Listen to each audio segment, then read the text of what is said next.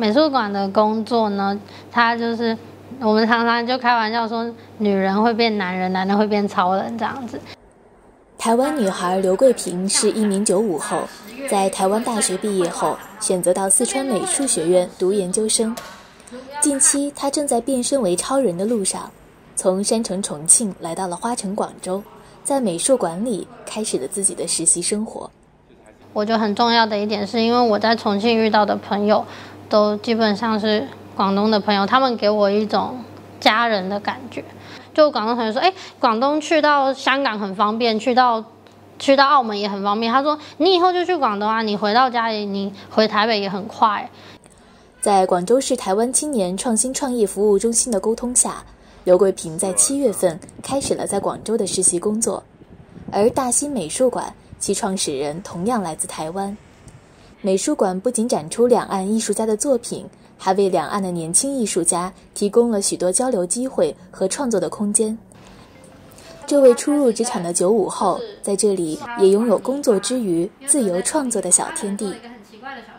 就是这边是我们驻村艺术家的一个驻村基地，就是两岸他会请一些两岸的艺术家来交流，然后这边就是我平常的宿舍跟呃工作室这样子。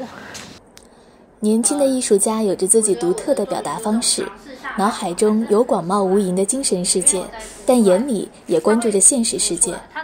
近期河南洪灾的消息牵动着这位台湾女孩的心，她为此心神不宁，也拿起画笔，用自己的方式来表达她的忧伤。我就觉得，其实就生命最后，我觉得很渺小，所以让我感到了一个很渺小的感觉。然后，所以我就最后，把所有的人又变成一个点。刘桂平说：“他关注河南，一是牵挂灾区的情况，二是因为河南也是他心之向往之地。”我第一次离开重庆以外的，就是去了河南的郑州，然后是真的看到那种就是中华文化，我觉得太漂亮了。就是我在飞机上看的时候，都看到都是那种黄土。然后我觉得很很有一种凄美的感觉。我现在我一个学生，我能捐款，我捐不多钱。那我本来还在想，那要不要卖艺术品？比如说我只能捐五十块，我一个人现在账户我只能捐五十。但如果我艺术品，我可以卖个五百、五千，甚至更多。我想把它全数捐出去。因为现在刘桂平正在忙于准备他和一位广东青年艺术家合作的画展。他每天都在美术馆的工作和自己的创作中忙碌着，不断学习新的技能，也不断滋养着自己的小小心愿，在大陆发展，去看更多的大陆城市，用自己的眼睛和脚步去创作艺术，去感受文化。年纪轻轻的他，心中的未来之路已经格外清晰。